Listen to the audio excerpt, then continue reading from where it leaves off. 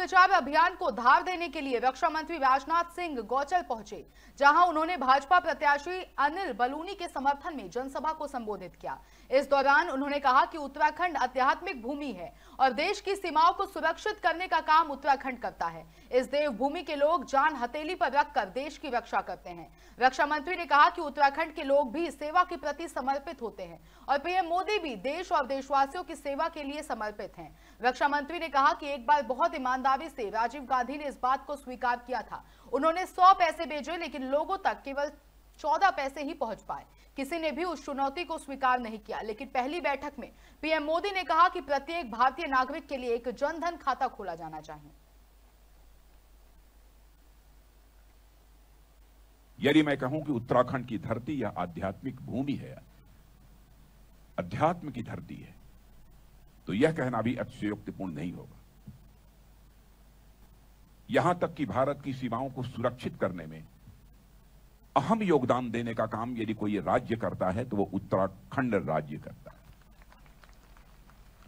अपनी ज़िंदगी हथेली पर लेकर भारत की सीमाओं की रक्षा करना, यह कोई आसान खेल नहीं है। यह काम छोटे मन के लोग नहीं कर सकते, यह काम बड़े मन के ही लोग कर सकते हैं। और मैं यह मानता हूँ छोटे मन का व्यक्ति कभी आध्यात्मिक भी नहीं हो सकता है। जो बड़े मन का होता है, वही आध्यात्मिक भी हो सकता है। इसीलिए मैं समझता हूँ कि इस आध्यात्मिक धरती से बड़ी संख्या में लोग सेना में भर्ती होते हैं। सेना के प्रति हमारे प्रधानमंत्री के मन में कितना बड़ा सम्मान है।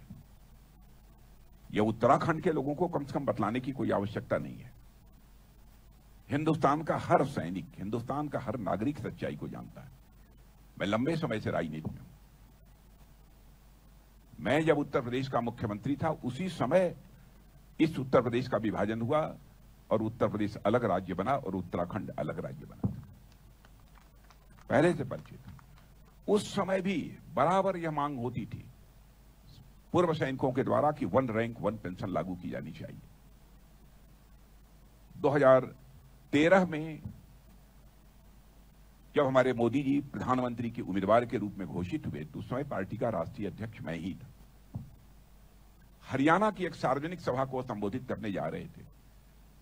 उन्होंने कहा कि, अध्यक्ष जी, आज मैं मैं किसी प्रधानमंत्री की आलोचना नहीं करता। चाहे वह कांग्रेस का हो, चाहे किसी राजनीतिक पार्टी का हो। क्योंकि मैं मानता हूँ कि प्रधानमंत्री ये व्यक्ति नहीं होता है, ये संस्था होता है। एक बार राजीव गांधी जी ने बड़ी ईमानदारी के साथ ये स्वीकार किया। कि मैं क्या करूँ? मैं दिल्ली से सौ पैसा भेजता हूँ खजाने से, लेकिन लोगों के पास पहुँचते पहुँचते बामुश्किल चौदह पैसा पहुँच पाता है। छियासी पैसा यह भ्रष्टाचार की भेंट चढ़ जाता है। किसी ने इस चुनौती को स्वीकार नहीं किया। हम लोगों की सरकार बनी, जो पहली मीटिंग हुई थी मेरे बहनों भाइयों, भारत के गृह मंत्री के नाते प्रधानमंत्री जी के साथ स्वयं भी मैं मौजूद था, अधिकारियों की बैठक ले रहे थे। वो कह रहे थे कि सभी के जनधन खाते खोले जाने चाहिए, जितने भी भारत के नागरिक हैं, सबके जनधन खाते खोले जाने चाहिए। मैं ईमानदारी से स्वीकार करता हूँ कि मेरी भी समझ में नहीं आया कि प्रधानमंत्री जी सारे देशवासियों के खाते क्यों खुलवा रहे हैं। ज़ीरो बैलेंस अकाउंट खोल दिया जाना चाहिए